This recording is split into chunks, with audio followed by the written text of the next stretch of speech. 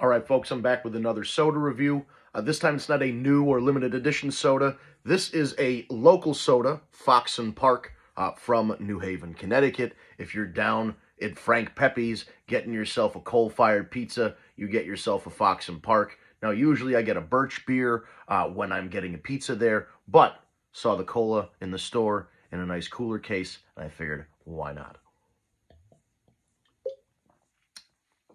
Mm. Oh my God. Uh, cane sugar, good cola flavor. Uh, I like a lot of carbonation. This is almost there to the point where I like at the carbonation.